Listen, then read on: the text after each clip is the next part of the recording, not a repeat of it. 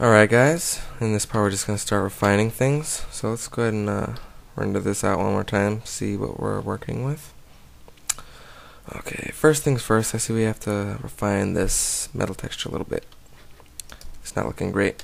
So let's go over here. Um, let's see. Let's go ahead and try and turn this a little bit darker. Let's go to the transparency here or the, the where is it the mirror is what we want?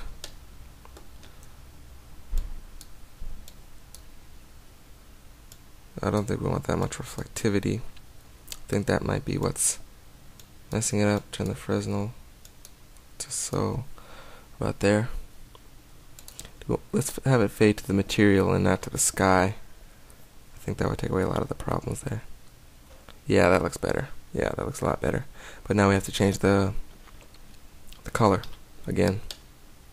Where's the diffuse? Yeah, okay.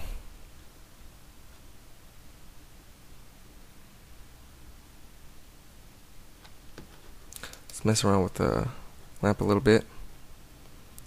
Um, look around to see if we can find anything see if full oversampling will help anything. Speaking of that, how is our yeah our anti-aliasing is fine. That actually made it look a little bit better. It might just be I don't know, but it did make it look a little better. Uh, let's refine our our fluid a little bit more. It's too dark at the moment. Um,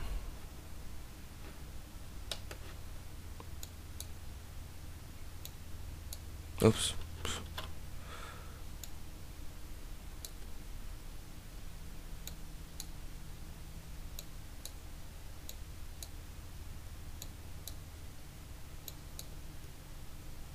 Let's try pulling this all the way up and all the way down. I don't really want that much red anymore because uh, I like the black and blue type effect here. Makes it look, makes the stuff inside look a lot more alien-like. Because I wanted a cool texture inside.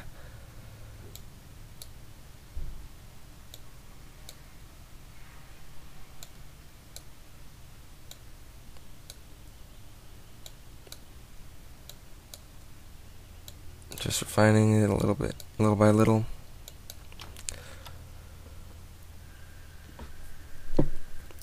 Excuse me, sorry, I just sneeze. That looks fine. So, let's move forward keep going with this here.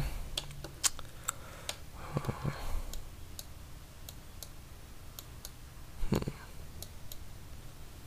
Don't want it to be too shiny.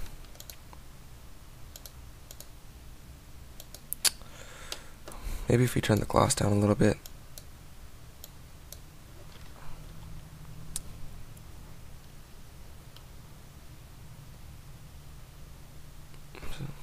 Yeah, that looks better. I like that. Plus it gives a kind of a cartoony feel to it. Let's go ahead and make the background uh, just black so we can, uh, oops, that's not what I wanted, there we go. Just so we can see the results a little bit better.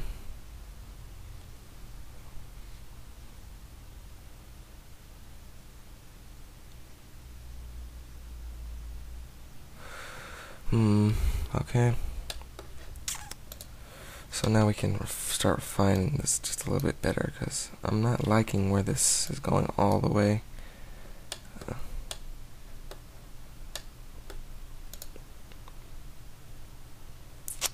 Maybe if we have add a ramp, uh, color ramp,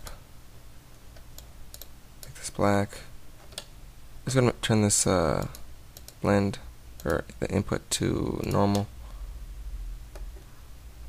turn the alpha up all the way here. Make this a grayish color. That looks cool. See how that works. It's probably going to be too dark though. That's what I'm guessing. Yeah, it is. So just fix that up there. Now we can uh, turn the reflectivity up and things like that.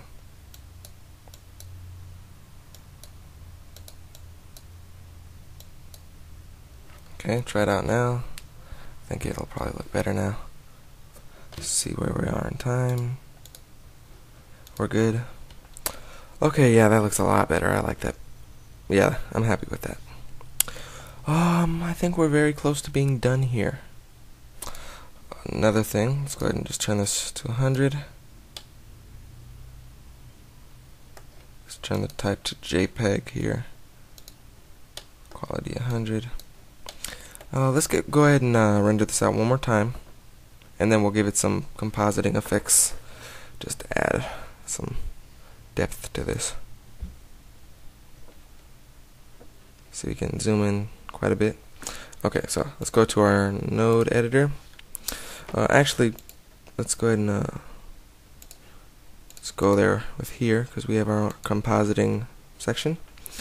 Uh, this is composite nodes, yes. So let's use the use nodes here. Let's go ahead and add a backdrop output viewer node backdrop, and we can also uh, viewer node. We can see it here as well if we need to. So first things first, let's go ahead and um, Let's go ahead and blur out the image within with a blur node here. Join it to the viewer node here. Let's change this to fast Gaussian. Let's go ahead and just turn this to 25 by 25. Give it a nice radial blur. And then we'll go ahead and add a RGB curves to the blur. And just bring it down right about there. That's what we want to blur out. Okay. Then we'll go ahead and add a mix node with RGB and the render layer. So actually let's make the render layer first. Turn the factor to 1, turn this to add, image to image here, like that. And now we have a kind of cool glow effect. If we want to uh, make the glow a little bit wider, we'll just turn this to, uh, let's just double it. So let's just say 50. And if you want it to be a little more refined, you just turn the RGB curves down. If you want it to be a little uh, more open, I I really I kind of like that effect a lot. So let's just turn the let's just turn this to 75, and then we'll just turn this down a little bit more. Actually, no, it was better once it was closer to 50. So we'll just keep it at, uh, in the 50s. So turn it to 55.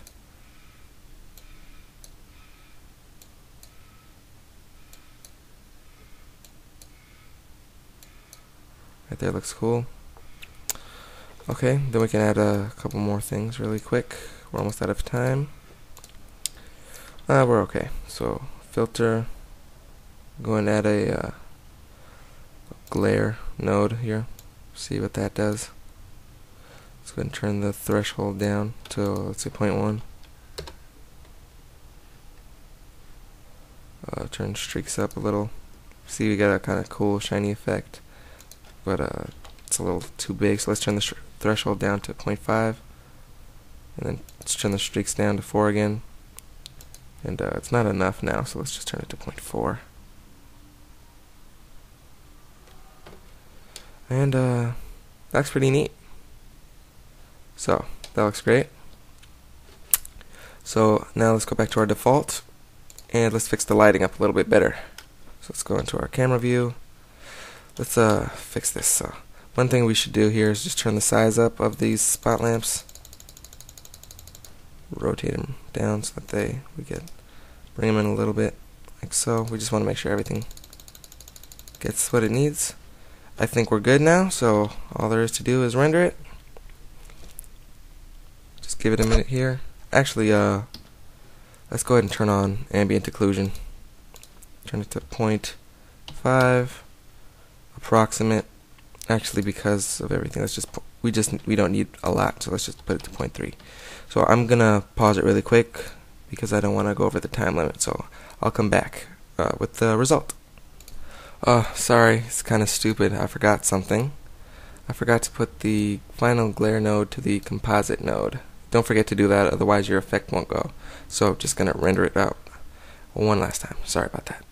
Alright so here we are with the final image and it looks pretty cool. So thank you guys for watching this tutorial and uh, be sure to watch the feature ones. And this was just a quick side step from the re uh, retopo tutorial, just so you guys don't get too bored. So after this, it's back to the retopology tutorial. Alright guys, thanks for watching.